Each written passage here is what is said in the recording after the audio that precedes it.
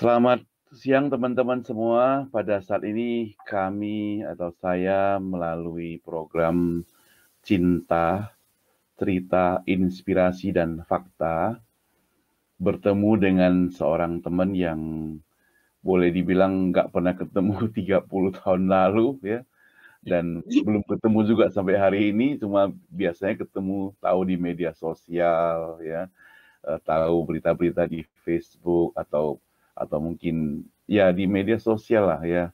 Tapi tadi uh, saya iseng-iseng buka di Facebook, saya ketemu beliau, kemudian tertarik saya, uh, saya coba messenger, say hello dan sebagainya. Ternyata dijawab dan ternyata ada pelayanan yang menarik dari dia gitu loh. Jadi saya mau coba supaya teman kita ini bisa share untuk kita ya. Nah, teman kita ya. itu adalah Pak Penginjil Mulia Wijaya ya. ya. ya. Boleh dikenalkan ya. sedikit nggak siapa itu Mulia Wijaya gitu supaya teman-teman kita tahu semuanya. Ya. Uh, saya lahir di Pematang Siantar, besar di Medan, tua oh. di jalan saya. tua Medan. di Jakarta. Bapak dari Medan ya? Iya, iya. Tapi iya. tapi kita nggak pakai bahasa Medan dulu di sini. ya baru sekolah teologi itu tahun 2005. Jadi telat dah, penginjil telat. di mana sekolahnya? Saya selesai tahun 2010, eh, saya selesai. Saya sempat eh, setahun aja sih jadi guru di IPK. Nah, oh. itu Uh, kemudian saya kembali ke gereja asal saya di GPMBRI, Gereja Pemberita Injil. Nah, iya, iya, iya. Di situ hmm, saya passion saya itu memang untuk kaum marginal. Jadi akhirnya saya bergabung dikenalkan dengan sebuah yayasan uh, milik Sinode GKY itu Terima kasih Yobel.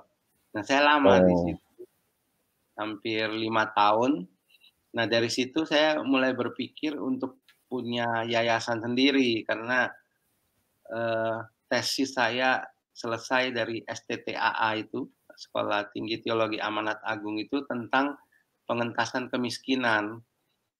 Jadi yeah, yeah. saya pikir saya ingin kerjakan apa yang saya tulis di tesis itu. Nah akhirnya dengan bantuan beberapa teman itu eh, yayasan ini berdiri itu tahun lalu. Tahun hmm. lalu pun kalau dilihat aktenya itu baru jadi Agustus. Oh, jadi, Agustus tahun lalu ya. Tahun lalu. Jadi oh. uh, baru sekali yayasan ini. Kenapa saya buat yayasan? Karena saya lihat Indonesia ini luas sekali ya, luas sekali yeah, yeah, dan yeah. banyak yang harus dikerjakan dan yang terpikir oleh saya itu adalah the power of keroyokan.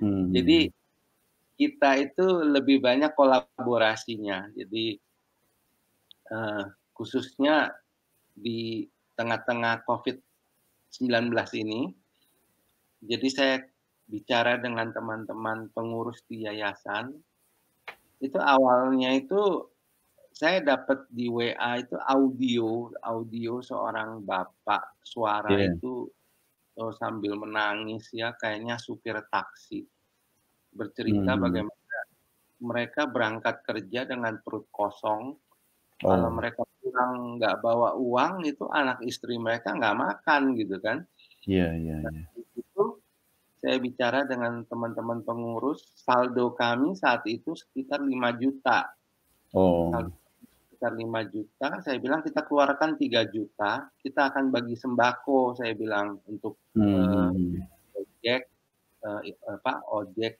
uh, tukang cuci ya, dan pemulung lain-lain. Nah, satu kali kami kerjakan dan share teman-teman apa yang kami kerjakan. Sampai saat ini boleh dibilang dengan kolaborasi yang ada, jadi saya kerjasama dengan yang utama itu dua teman ya, satu di Bekasi, itu juga adalah ketua pembina yayasan saya, Ibu Vera, Ibu Vera Sekeon. Oh. Dan dia dari Yayasan Pelayanan Anak Kalvari. Nah, dia yang banyak bantu saya untuk turun ke jalan di Bekasi itu. Jadi saya cari dana, timnya Ibu Vera turun ke jalan, bagi-bagi sembako, bagi masker. Nah, satu lagi adalah Pendeta Andri di dari GSJA di daerah Tegal Alur. Dan oh. dia yang saya untuk masak, untuk bagi nasi bungkus. Nah, jadi dua teman ini yang kita berkolaborasi dan ada juga teman-teman kuli apa sekolah SMA itu titip juga titip iya. sembako dibagikan. Jadi hmm. sampai saat ini saya hitung-hitung dengan dana yang kami awal hanya keluarkan 3 juta dari saldo kurang lebih nggak sampai sekitar 5 juta kami udah salurkan itu mungkin udah hampir 50 juta kali ya kalau Wah, dihitung. luar biasa ya uh, jadi action yang pertama itu saya rasakan memang sepertinya Tuhan uh, saya membayangkan yayasan ini baru sekali hmm. tahun dan Tuhan itu seperti yayasan ini lagi surfing ya jadi Tuhan mendatangkan ombak yang baik sehingga kami langsung naik gitu dan ada yang bilang di saat-saat COVID ini apa yang bisa dikerjakan? Saya bilang justru di saat-saat begini yayasan saya malah banyak kerjaan. Oh, jadi di yayasannya namanya apa? Oh ya, Yayasan Haluan Indonesia Mega. Jadi oh. awalnya itu adalah harapan Indonesia maju. Jadi kalau kita lihat di itu ya apa buletin saya yang pertama yang sangat sederhana itu saya bikin sendiri ya buletin pertama yeah, kedua yeah, yeah. sederhana sekali itu bagaimana uh, fokus kita adalah pelayanan ke orang-orang miskin anak-anak miskin ke pendidikan hmm. Nah itu yang ingin kami kerjakan tapi saat ini karena kami masih baru kekurangan dana akhirnya justru di covid 19 ini malah kegiatan kami kebanyakan bagi sembako gitu ya. Oh.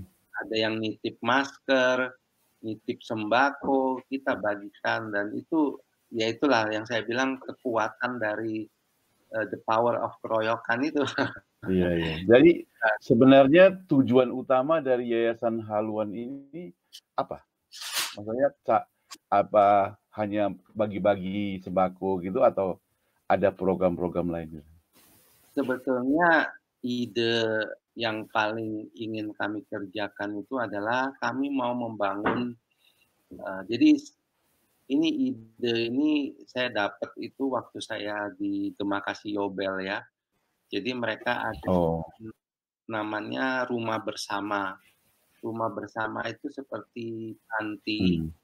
tapi bukan anak-anak yatim piatu tapi anak-anak yang eh, baik berprestasi dalam pendidikan nah itu diasramakan dan rencananya akan dikuliahkan ya yang kalau yang di Yobel itu memang udah dikuliahkan nah hmm. unggulan ini kita harapkan nanti menjadi pemimpin-pemimpin di daerahnya dia kembali ke daerahnya itu sebetulnya oh utama yang ingin dikerjakan dan selain yeah, iya, itu yeah. ada kredit mikro yang dulu di tesis saya saya sempat buat itu juga di dalam pemikiran ya tapi karena kita masih baru sekali ya baru setahun hmm. Jadi ceritanya Pak Mulia Pak uh, full time di sini atau ada pekerjaan lain full time full time oh, full time di sini ya yeah. jadi ada ada ada dana untuk support kehidupannya Pak Mulia ya masa gitu.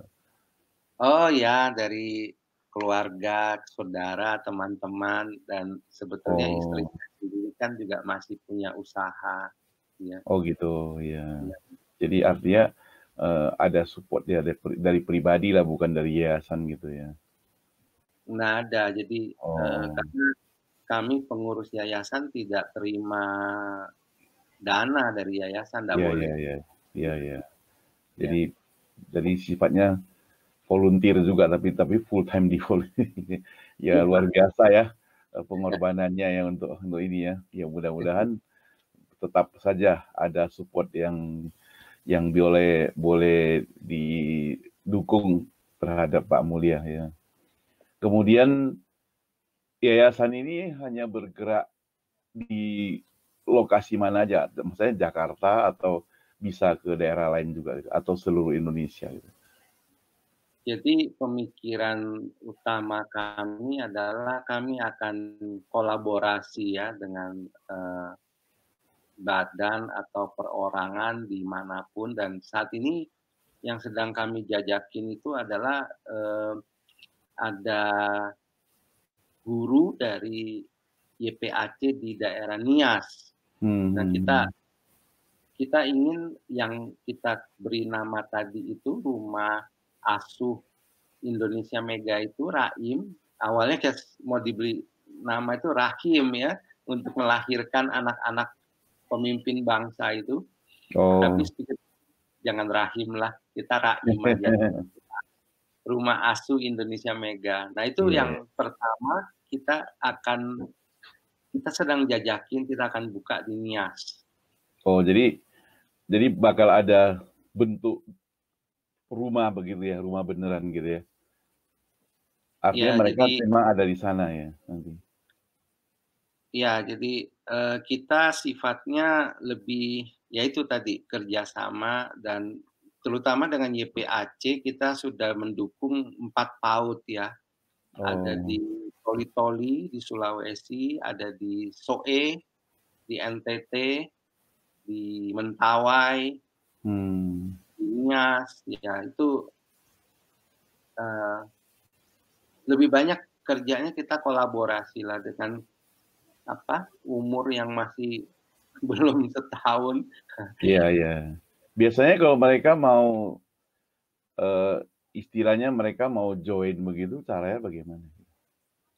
Untuk mendukung atau bagaimana? Uh, pertama untuk mendukung, kedua uh, kirim kirim orang-orangnya untuk masuk dalam apa mendapat perhatian dari yayasan haluan ini gitu. Kalau yang sudah bisa kita kerjakan untuk kirim orang hmm, jadi volunteer mungkin bisa ya jadi volunteer. Oh. Mm Yeah. Uh, sebetulnya kalau mau kirim anak-anak, jadi di yayasan tadi yang di Bekasi itu dia punya STT. Oh. Nah, jadi kalau mau kirim anak-anak dari daerah kita kita bisa tampung di Bekasi. Jadi, Jadi berarti dia STT. harus sudah tamat SMA gitu ya? Iya. Karena kan Nanti masuk kita... kuliah STT kan seminari ya, berarti masuk seminari gitu ya? Jadi STT ini khususnya untuk jadi pelayan anak, jadi guru PAUD oh. misalnya gitu. Oh, jadi guru nah, ya. Ya, ya, jadi bukan utamanya sebetulnya jadi pelayan anak, jadi guru PAUD, jadi guru. Nah, yeah, yeah. anak ini nanti kan uh, selesai dari STT ini bisa kembali ke daerah atau dia bisa sekolah kuliah lanjut lagi ya untuk hmm. ngambil ya supaya dia bisa di maksimal di daerahnya masing-masing. Itu kerjasama yang bisa dikerjakan juga kalau mau kirim orang. Oh, selama ini sudah ada berapa orang yang sudah di apa dilayani oleh uh, Yayasan Haluan ini? Uh, kami sampai saat ini belum ada yang kirim orang, tapi yeah. volunteer sih ada, volunteer yang bantu ya untuk cari dana itu ada volunteer. Hmm. Yang jadi kami ini yang mendukung STT Providensia yang di Bekasi itu. Oh. Sebetulnya itu cabang dari Providensia yang di Malang. Jadi ya I3 ya. Dulu ya. sebelum ya. yang yang yang dari dulu dulu I3 dulu memang. Ah, nah, itu ya. kemarin kami juga kirim beras dan minyak ke Providensia yang di Malang karena belakang ini ada info-info uh, panti asuhan pengunjungnya sepi. dan hmm. STT juga mengalami kesulitan. Jadi ya apa yang bisa kami kerjakan yang sifatnya kolaborasi itu tadi. Jadi iya iya iya. Karena saya pikir nggak perlu saya bikin STT lagi. Buat apa? Banyak STT yang perlu dibantu, banyak yeah. panti asuhan. Kami juga kirim beras ke panti asuhan. Jadi ke panti-panti ya nggak perlu saya bikin lagi karena banyak yang bagus. Iya iya. Jadi Tapi, lebih lebih banyak ke kolaborasi gitu ya. Iya iya iya. iya. Ya kita doain lah supaya yayasan ini yang baru tahun lalu mulai bisa berkembang ya, hmm. lebih maju iya. lagi. Cuma karena ya. COVID gini mungkin yayasan ini benar-benar haluannya berubah dikit ini. jadi jadi pembagian-pembagian sembako saya lihat tadi. Iya, memang uh, ini saat yang sebetulnya benar sih di saat-saat COVID ini kita nggak bisa ngapa-ngapain karena semua yeah, harus yeah. home ya, lockdown hmm. begitu. Nah akhirnya yang bisa kami kerjakan yang satu-satunya ya begitu bagi-bagi yeah, iya, sembako, yeah, yeah kita kumpulin dana, kirim ke panti, kirim ke STT. Ada yang mau sumbang sembako, sumbang masker, itu semua hmm. kita terima. Oh. Dan nanti tim uh, kami kerjasama dengan teman-teman itu, mereka akan bagi yeah, di yeah. Bekasi, di Cengkareng, ya.